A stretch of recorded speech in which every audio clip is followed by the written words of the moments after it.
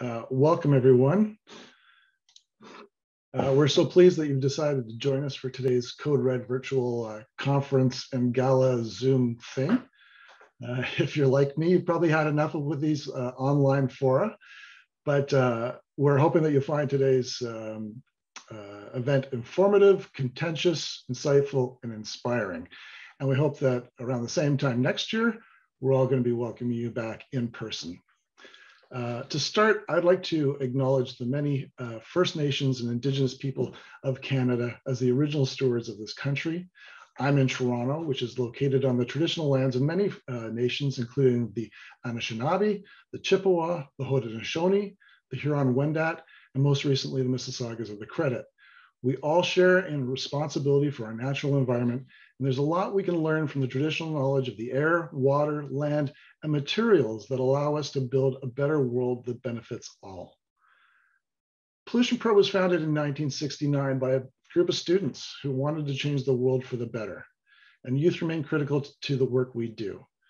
You can find members of the probe teams speaking with classes or responding to questions from middle school and high school students, and you'll find uh, Probe working with groups of college and university students to develop implementable local projects.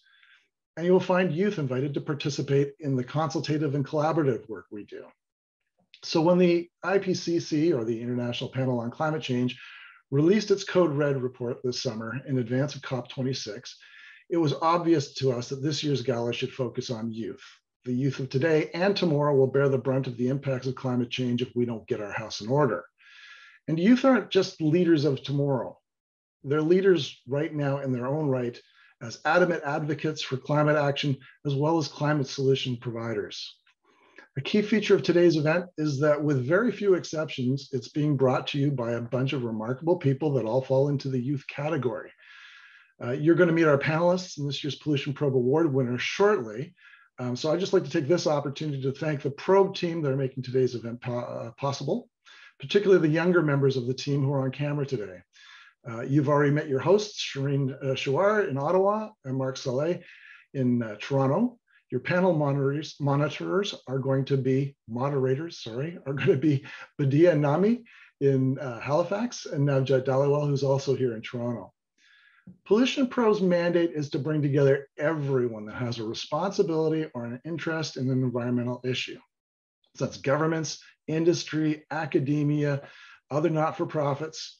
Uh, we herd the cat, so to speak, and we try to uh, we try to find areas of consensus or convergence that allow for immediate near-term action and then we help to construct the pathways that allow for longer term action in areas where consensus or convergence don't currently exist.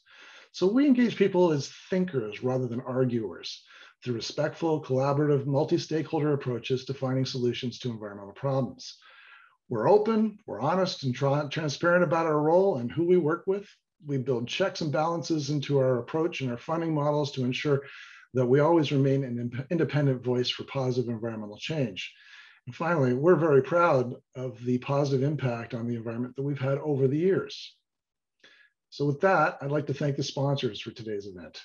Thank you to our presenting sponsor and lead supporter of our youth uh, leadership program, the George and Helen Vari Foundation, our champion sponsor, the Royal Bank of Canada, our advocate sponsors, Bruce Power, Enbridge, and Flow, and our friend sponsors, Electra, the Chemistry Industry Association of Canada, Coca-Cola, Ice River, Nova Chemicals, and TC Energy.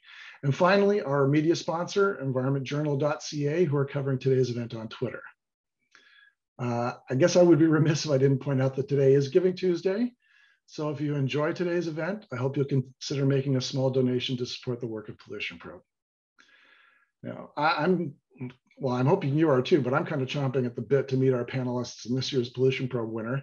And we're going to do that in just a few minutes. But first, uh, the Honorable David Piccini, uh, Ontario's youngest ever Minister of the Environment, who wanted to join us but had to cancel, just sent a, a, a short video message to everyone, which we will uh, share with you now.